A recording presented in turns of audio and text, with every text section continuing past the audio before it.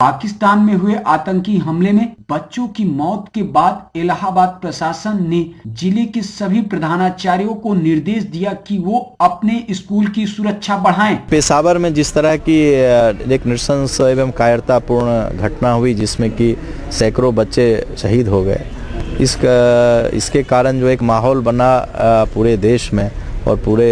हिंदुस्तान के लोगों ने, स्कूल, कॉलेज, बच्चे और सभी सिविल सोसाइटी ने इस घटना की निंदा की। तो इसमें हम लोगों को भी सेंसिटिव होने की ज़रूरत है, संवेदनशील होने की ज़रूरत है। इसीलिए हमारे जनपद इलाहाबाद में सैकड़ों जो विद्यालय हैं, उनके टीचर को, उनके प्रिंसिपल को और उनके मैनेजर को हम लोगों के द्वारा बुलाया गया है, डीएम साहब और हमारे द्वारा। और इनको सिक्योरिटी ऑडिट के बारे में बताया गया, उसके प्रति कैसे संवेदनशील रहें, उनके बारे में इनको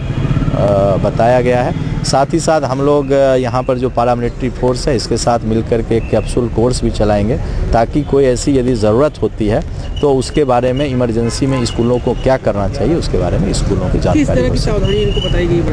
जैसा हमने आपसे कहा कि सिक्योरिटी ऑडिट प्रत्येक स्कूल जो जो इम्पोर्टेंट है वहाँ पर हमारी टीम जाकर करेगी। और इनको बताया गया है कि जो इनके ड्राइवर हैं गाड़ी के उनका कैरेक्टर वेरिफिकेशन करवाएँ। इसके अलावा स्कूल में सीसीटीवी कैमरे लगवाएँ, एग्ज़िट और इंट्री के इनके पॉइंट को हम लोग देखेंगे, फायर सर्विस की इक्विपमेंट को चेक करेंगे। इस तरह की चीज़ों के बारे में, इनको एक बेल लगाने के बारे में हम लोगों ने कहा कि इमरजेंसी बेल लगाएँ और उसको हम लोग थाने से जोड़ेंगे ताकि ज़रूरत पड़ने पर उसका हम लोग सदुपयोग कर सकें। एस एसएसपी कार्यालय में मीटिंग में हम लोगों को पेशावर में हुई दुर्घटना के उपरांत एक सुरक्षा के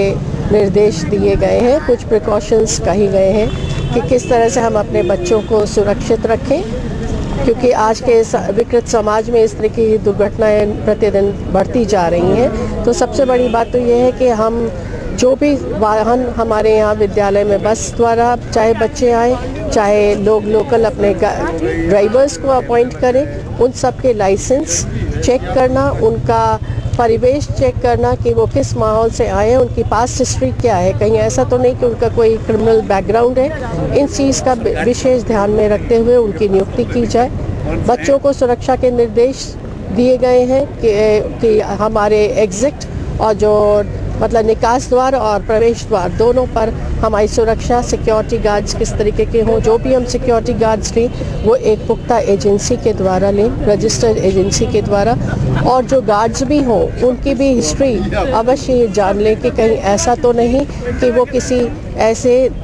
बैकग्राउंड से हैं जिन्होंने पास्ट में उन्होंने कोई ऐसा क्राइम किया हो और बाद में वो दूसरी जगह सुरक्षा के गार्ड के रूप में नियुक्त किए गए हैं। तो इन बातों को निर्देश दिया। तीसरी बात ये है मुख्य जो कि कभी भी आकस्मिक दुर्घटना कभी कह के नहीं आती। आकस्मिक अगर कोई प्रहार होता है तो हमें एक अलर्ट अलार्म लगाना होगा। उस अलार्म को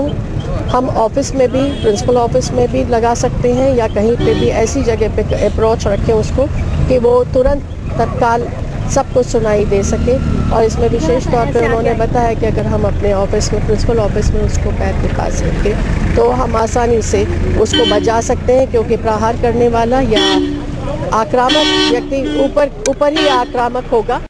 तो निश्चित ही है कि हम अपने पैर के द्वारा उस अलार्म को बजाकर हम ये अलर्ट कर सकते हैं और ये भी कहा गया है कि हम ये जब अलार्म लगेगा तो अगर हम कॉलेज में अलार्म लगाते हैं तो वो एसएसपी कार्यालय से या सिक्योरिटी डीएम कार्यालय से उसको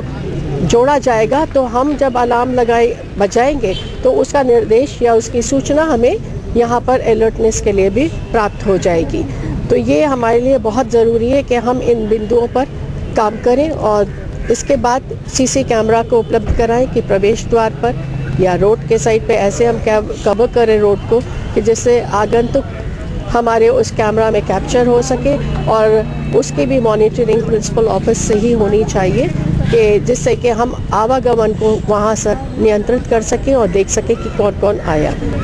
साथ ही बच्चों बच्चों से रिलेटेड है कि उनकी सुरक्षा के लिए बच्चे वाहन जो चला रहे हैं उनकी सुरक्षा के लिए कि वो हेलमेट ज़रूर यूज़ करें, अपनी सिक्योरिटी देखें, उनके परिवेश में, उनके गार्जियन से भी हम इस बात पर रूबरू होकर उनको भी ये समझाने का प्रयास करें कि आप अगर संसाधन उपलब्ध करा रहे हैं तो उनके आवागमन की एक तो रफ्तार